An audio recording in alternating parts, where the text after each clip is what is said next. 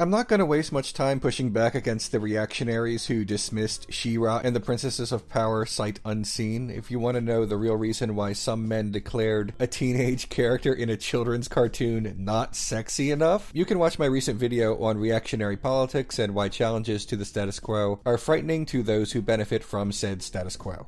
I don't care about any of that today. I want to make a more positive video for a change. I just want to talk about why the new She-Ra series on Netflix is good, actually. That's the whole thesis. So let's begin. Quite possibly the worst argument about children's entertainment is it doesn't have to be good, it's for kids. When describing a bad children's movie or television show, it's extremely callous. You wouldn't say that about food or water or clothes or anything people need or want. Children's entertainment needs to be of high quality and teach excellent values because children are even more susceptible to internalizing the values of the media they consume. Media influences the way we view the world because our individual anecdotal experiences with other people, and especially those different from us, are limited exclusively to ourselves and our limited interactions, travels, friendships, and other relationships. I want to focus on the values that the series teaches children rather than simply talking about how I love all the characters and how I wish Seahawk were my best friend. So, what values does She-Ra and the Princesses of Power teach? Children's entertainment is not written by children. It's written by adults, many of whom are parents. That means it's no surprise that children's entertainment often contains themes of making peace with one's parents, Max, in a Goofy movie, is deeply concerned that he will one day turn into his father, a man with whom he has almost nothing in common. But the movie makes the case that these two should have an unshakable relationship anyway, and that somehow the onus might be on Max to make that extra effort in the end, even though he is a child. Other entertainment, not specifically for children but certainly enjoyed by children, like superhero movies, portray distant parents as people who still, deep down, love their children no matter how abusive they might otherwise be. She-Ra says no to all that and instead depicts two separate mother daughter relationships that teach children the difference between a good parent and a bad parent. Glimmer's mother, Queen Angela, is protective of her daughter, something that bothers Glimmer. But the Queen is also willing to give Glimmer responsibilities that allows her a great deal of independence, especially by season 2. The Queen is a good mother. She is strict when necessary, appropriately concerned, and proud of her daughter's accomplishments. Glimmer and her mother don't always get along, but their arguments are common in the give and take between mothers and daughters. The relationship shows children that their parents may occasionally get on your nerves, but so long as they ultimately treat you with respect, the relationship may be worth maintaining into adulthood.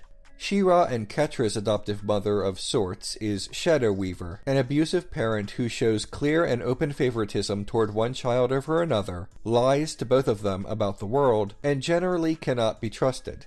By contrasting a good mother daughter relationship with a bad relationship, the series educates children on whether their parents are just the regular kind of annoying or if they are actually dangerous. Children don't need to be told that their abusive parents really do love them.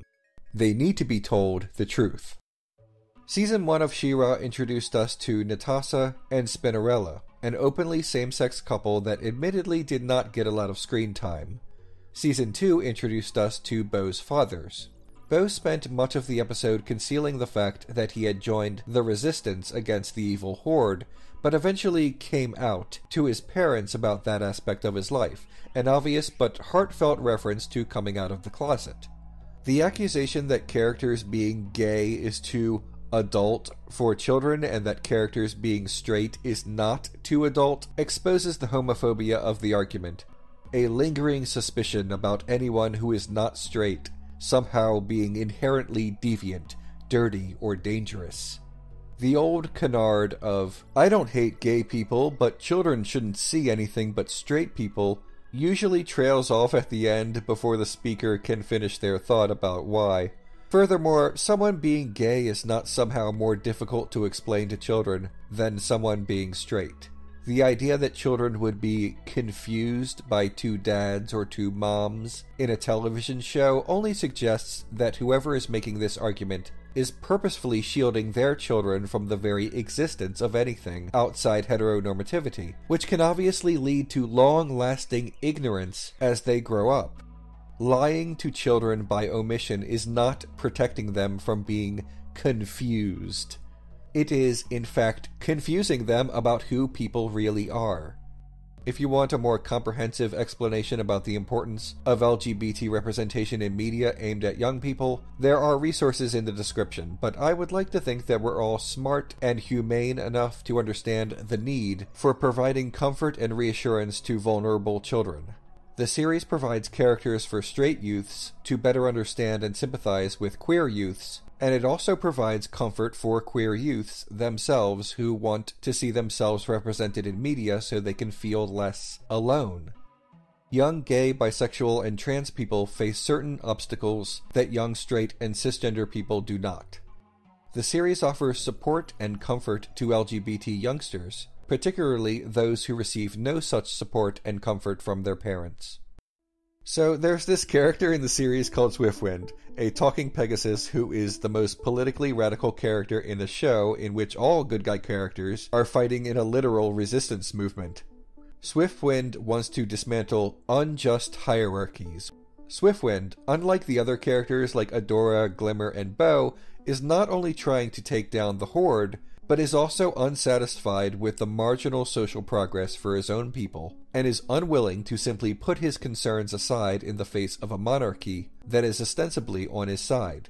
Children's media is full of evil empires, and media that is not explicitly for children, but widely enjoyed by children, like Star Wars, has this common conflict as well. Star Wars doesn't tell us a lot about the explicit politics of the bad guys and the good guys. It only informs us through visual shorthand which real world entities we are meant to associate with the fictional entities of the films.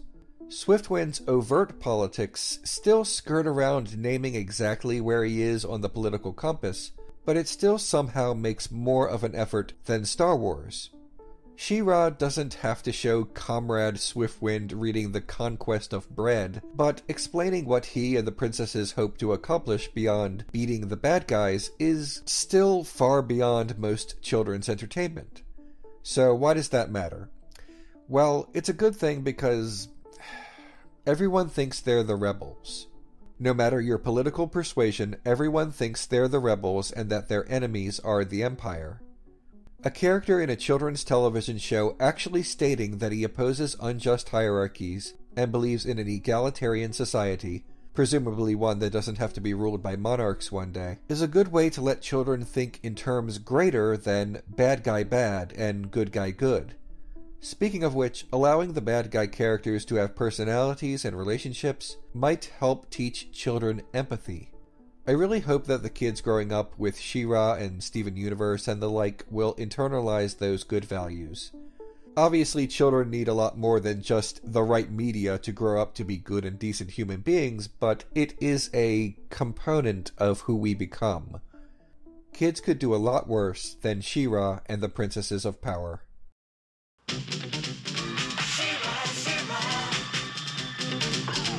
I am Adora. I am she